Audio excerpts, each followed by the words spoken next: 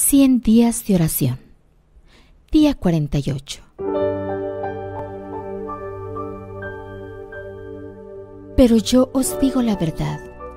Os conviene que yo me vaya, porque si no me fuere, el consolador no vendría a vosotros. Mas si me fuere, os lo enviaré. Y he aquí, yo estoy con vosotros todos los días, hasta el fin del mundo.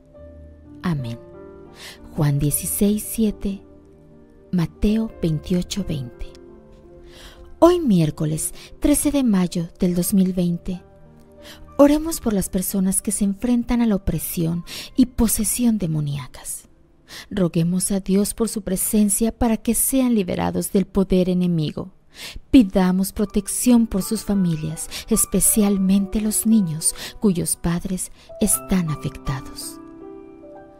Oremos por los miles de nuevos grupos e iglesias plantadas alrededor del mundo para que se mantengan fuertes y vibrantes a pesar de la crisis actual.